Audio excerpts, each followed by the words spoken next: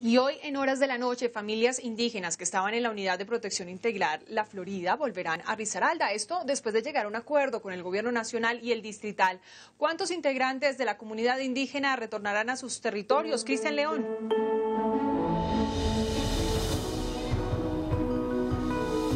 Buenas tardes, qué gusto saludarlos. Pues hay que decir que la administración eh, distrital indica que esas 127 familias estarían conformadas aproximadamente por cuatro integrantes. También hay que aclarar que el acuerdo se llevó a cabo con la comunidad Embera Chamí, mientras que la comunidad Embera Catío continúa en esos diálogos con la administración distrital y el gobierno nacional.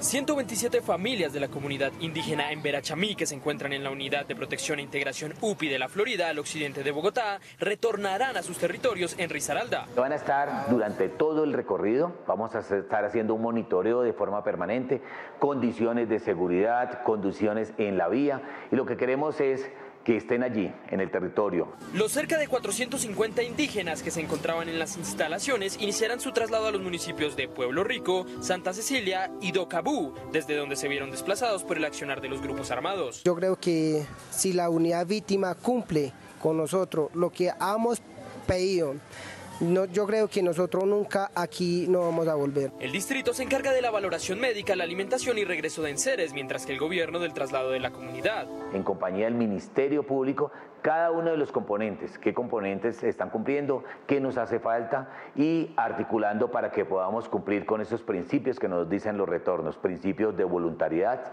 seguridad y dignidad.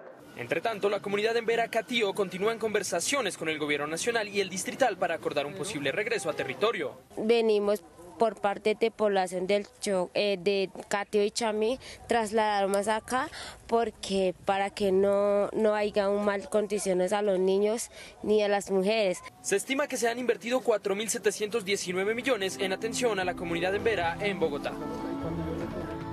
Y nos encontramos precisamente en el Parque Nacional hablando con la comunidad que en este momento está sentada, ya que también continúan esos diálogos con ellos. Estamos con uno de los voceros y defensor de derechos humanos, Jairo Montañez. Eh, bienvenido a Noticias Capital y cuéntenos cómo avanzan esos diálogos.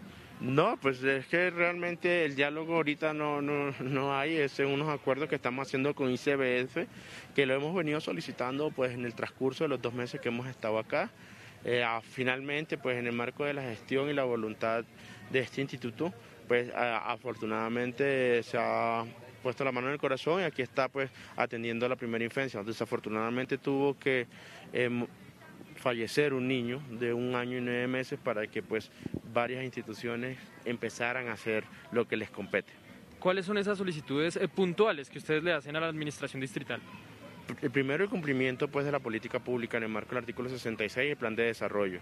Segundo, efectivamente, el cumplimiento de la, de la sentencia número 36, la subsección E, que está establecido para, para los pueblos en Vera.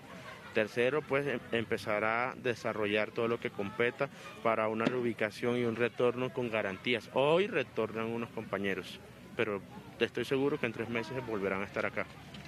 Bueno, le agradecemos mucho. Esas son las palabras directamente desde la comunidad acá en el Parque Nacional. Estaremos atentos al desarrollo de esta situación. Informó Cristian León para Noticias Capital.